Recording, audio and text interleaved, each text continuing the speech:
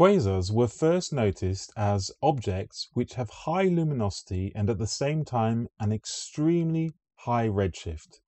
In recent years, we have been able to observe long jets extending outwards from some of these objects. Current thinking would describe quasars as old relics from an early universe. The objects are similar to active galactic nuclei that sit at the center of galaxies. The reason they believe these objects are so old is purely to do with their redshift. But this presents a huge problem, as at this remoteness it is very hard to explain their luminosity. They would have to be 10 to the power of 18 times more powerful than our largest galaxy. There are many other problems with this distance to do with the relative speed of the gas being emitted by some of them and their movements would break the speed of light several times over, which of course is impossible. They believe that the only thing capable of powering this is a supermassive black hole at its center, with an accretion disk that can magically create jets above the poles of the black hole. Instead, what we will examine is a common sense approach which will use our understanding gained from laboratory experiments to match this phenomena to something very real and not so distant at all. So let's find out what a quasar is in a plasma and electric universe.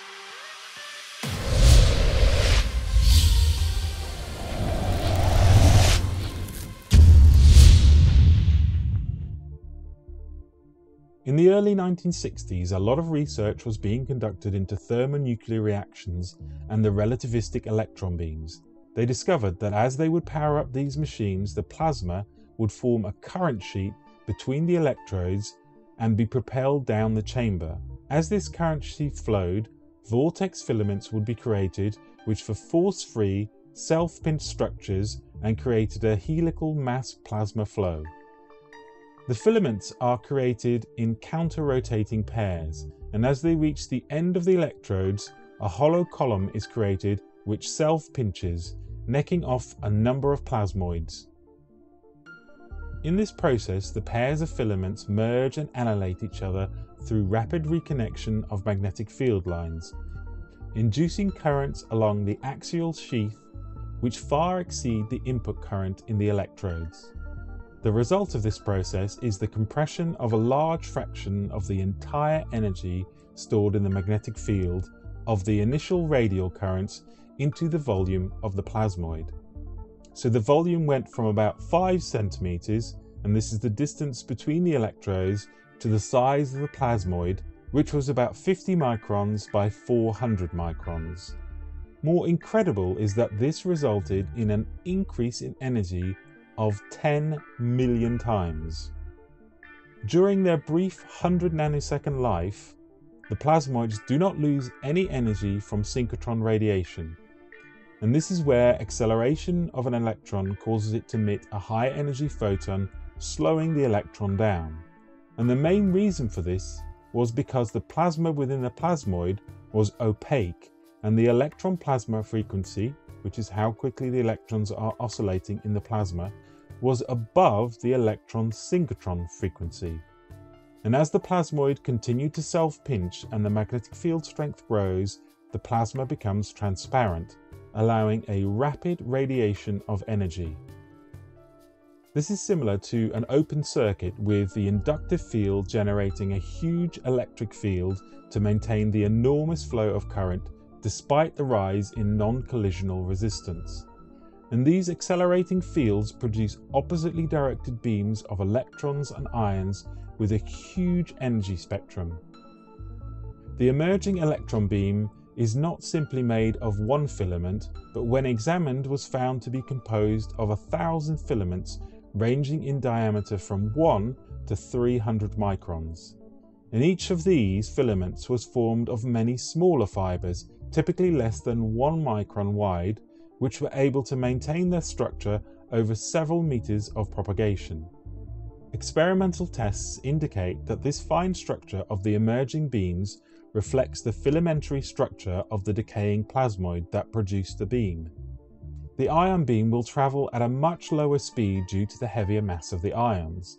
Observations of this beam reveal that the beam production mechanism is not a smooth continuous process. Its structure is clumped and further examination of the electron beam revealed the same structure but with a smaller spacing. It appears as if both beams were being pulsed. Eric Lerner's model of the quasar is based on this process of magnetic self-compression that we have just outlined. The initial conditions would be that of a protogalactic cloud contracting and rotating in an intergalactic magnetic field. The existence of these intergalactic magnetic fields has previously been observed by Rotony in the 80s, and this model only requires that there is a component of the magnetic field parallel to the axis of rotation. In the laboratory experiments, there will be plasma streaming against the perpendicular lines of magnetic force. This will create paired vortex filaments following the plasma in the protogalactic cloud to move through the background field with a minimum of energy loss. On the large scale, the contracting plasma disk acts as a generator, producing currents that flow towards the center of the plane of rotation, where the density is highest, and then out through the central axis of rotation, which is in accordance with Alfvén's galactic circuit. The in-streaming filaments follow the magnetic field lines and are therefore force-free.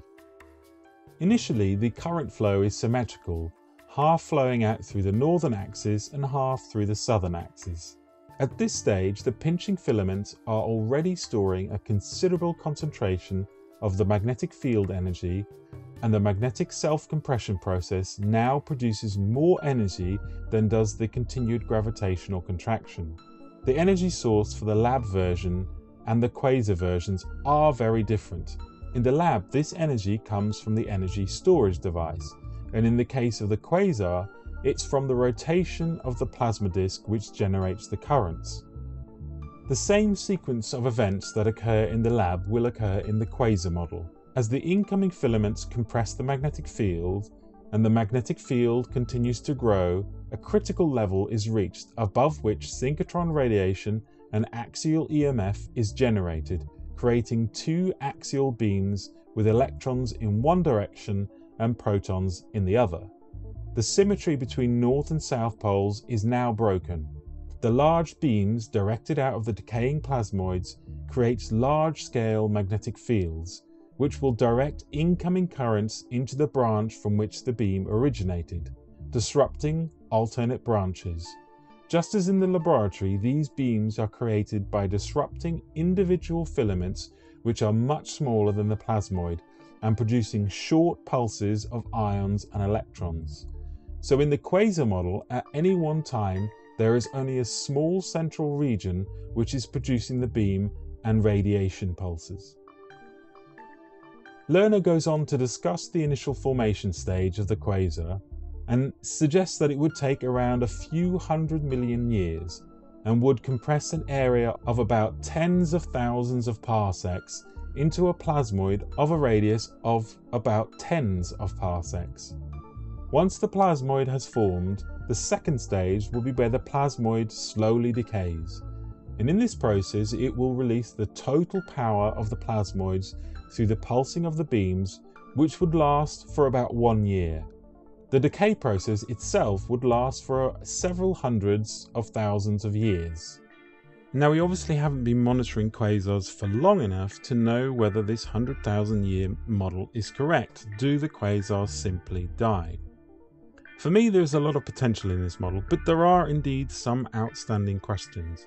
The first of which is indeed what happens to the quasars after all the energy is used up. If we assume that the same thing happens as in the laboratory, then we would expect these uh, quasars, these plasmoids, to simply disappear. They spew out all of the energy, they eject the material in either direction. At the end, you're left with very little plasma at the center of that nucleus. Now, that is obviously in direct contrast to what Halton Arp had kind of put forward in terms of his cataloguing of quasars. His view was very much that the galaxies ejected quasars and that quasars turned into other galaxies over a long period of time. The question is is there a middle ground here? Is it possible that the uh, quasar, the plasmoid, doesn't use up all of that plasma, and in fact, at some stage, those beams turn off and it becomes less active, and, and we are left with effectively an active galactic nuclei with the plasma forming the galactic disk. That's potentially an option. Now, we do know from Halton Arp's uh, photography that there are images where there, there seems to be a connection between the host galaxy and the quasar. But the question is whether that can feed in extra material after the quasar forms, after the plasmoid has formed. And again, we don't know really what happens. What happens if you add extra material into an already formed plasmoid? Now, certainly, if we look at Bostick's work, which we've covered in the past, it does suggest that there are two possibilities. Indeed, the first is that the um, plasma will join with the existing plasmoid, and the second option is that it is repelled from it. So, again, until we do further experiments to verify this, we don't necessarily know. The other important thing that we would need to be able to verify is these beams. Now, we do know that there are quasars that emit these beams, but obviously at the moment we don't know what the constituent particles of these beams are. If we detect that they are predominantly protons or if we detect that they are predominantly electrons, then indeed that does point towards Eric Lerner's model. The other thing is that the pulsing of these beams Again, I've covered uh, quite recently one of the quasars, the, the, Doomsday Quasar, which mainstream thinks is because there is a, a binary black hole. But potentially it could be because what we are detecting is the fact that these beams are turning on and off, and that creates this sort of pulsing effect, which seems to cause the dimming of the, the quasar over a period of time. Again, more evidence would need to be gathered in order for this to be substantiated, but it certainly is a far more believable model than a double binary black hole at the center of a quasar. Now, equally obviously, this model applies to black holes and active galactic nuclei. In fact, if we go along Halton Arp's theory, then indeed the quasar would become the center of a galaxy. So, therefore, we would expect to see at the center of all these galaxies a plasmoid. Now, obviously, the question is how does that plasmoid then survive that long? Because obviously, in Eric Lerner's model, you're talking, you know, maybe half a million years before that disappears whereas we know that galaxies have existed for, for far longer. So there has to be some modification to this concept to allow the plasmoid to exist for much, much longer. And that comes back to my question about whether you can add additional material in. Certainly, looking at our own um, active galactic nuclei in the Milky Way, we know that there is gas clouds that are feeding into it. So the question is, does that re-energize the plasmoid at the center? Or is there some other mechanism going on? So there are still many questions to be addressed. But Eric Lerner does take this model one step further, and in the next episode, what I'm going to cover his modification to this model looking at double radio source galaxies, and that's exactly the same point that, that when we looked at Alfvén's galactic circuit, he was looking to try and explain that phenomena.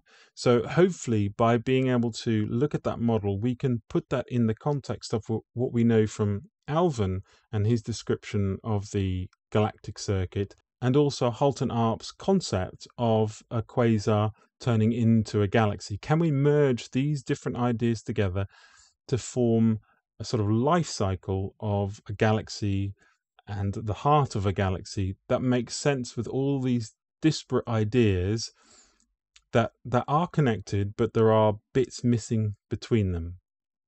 As always be brave be curious. The truth is waiting for us. Until next time